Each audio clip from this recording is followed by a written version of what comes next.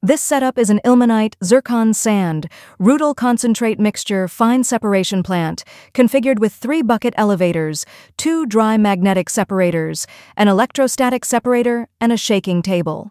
The mixture of ilmenite, zircon sand, and rutile concentrate is fed to the first bucket elevator, then it will be sent to the first dry double roller magnetic separator for primary magnetic separation, which can separate iron, ilmenite, and tailings like zircon, silica, etc.